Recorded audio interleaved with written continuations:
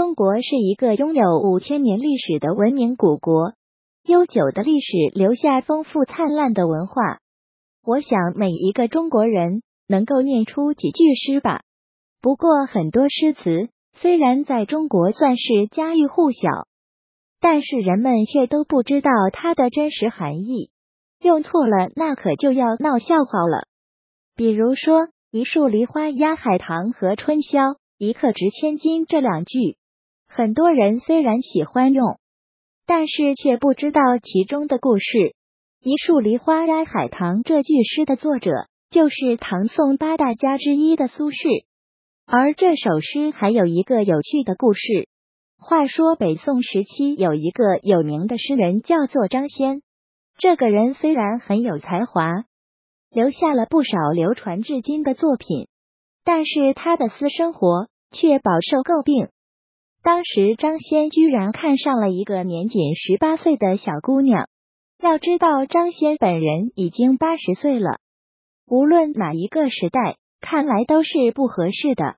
不过张先却毫不在意，还专门写了一首诗，表达自己的爱意。张先那也是有头有脸的人啊，最后还真的把这个小姑娘娶回家了。苏轼对于张先的做法嗤之以鼻，于是就大笔一挥，写了一首诗讽刺他：十八新娘八十郎，苍苍白发对红妆，鸳鸯被理成双叶，一树梨花压海棠。这首诗写的十分妙，尤其是那句“一树梨花压海棠”。可以说十分形象生动了。梨花是白色的，当然就是指的张先的白发了；而海棠是红色的，指的是新娘红色的嫁衣。至于这个“鸭”子描写的内容，各位就自行脑补吧。不得不说，苏轼的想象力还真是丰富啊！不管苏轼怎么样讽刺，张先还是把人家娶回家了。并且还生下了四个孩子。八年之后，张先去世，这个年轻小妾最后也郁郁而终。至于那句“春宵一刻值千金”，常常被用在夫妻新婚的时候。而这句诗词的作者也是苏轼，真是老司机呀！和上一首诗不一样，苏轼写“春宵一刻值千金”的时候，可并没有多想啊。